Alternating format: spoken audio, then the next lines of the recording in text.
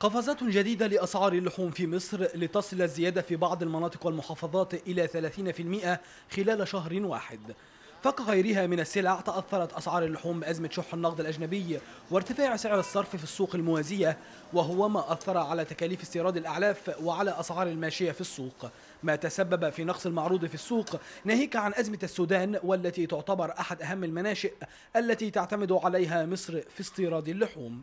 النهارده حتى يعني الفلاح أو المربي اتعود يبص لسعر الدولار يعني. ليه العلف بيغلى وكل حاجة بيغلى؟ فبتلاقي حلقه يعني إيه متصله ببعضها كله بي بيسمع على بعضه يعني. كل حاجة بتأثر على اللي بعدها.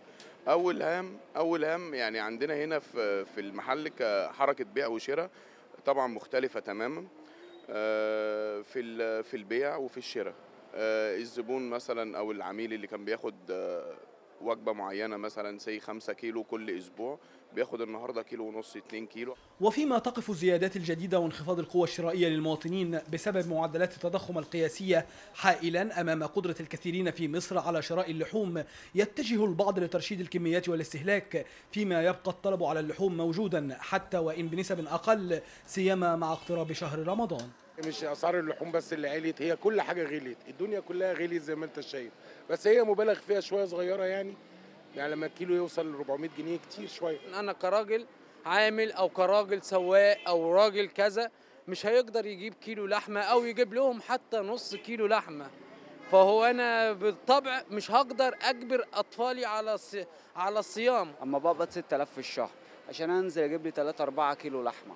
شوف يتكلفوا كام أقول مثلا أنا هقول لك 3 4000 جنيه عشان أجيب لي شوية لحمة أخزنهم في البيت يبقى إيه خزين البيت والعيال وكده تمام؟ هصرف بقية الشهر نور.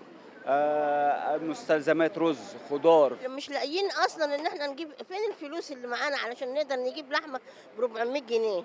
وتسعى الحكومة المصرية لتعزيز مخزونها الاستراتيجي من اللحوم عبر تعاقدات جديدة من أسواق مختلفة بغرض تنويع الإمدادات إلى جانب مشروعات تعزيز الثروة الحيوانية حيث يصل المخزون الاستراتيجي من اللحوم المجمدة لنحو ثلاثة أشهر. لم تفلت اللحوم هي الأخرى من أزمة الدولار.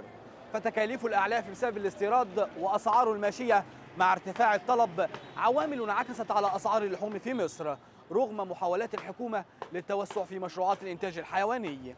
فاروق يوسف سي إم بي سي عربية القاهرة.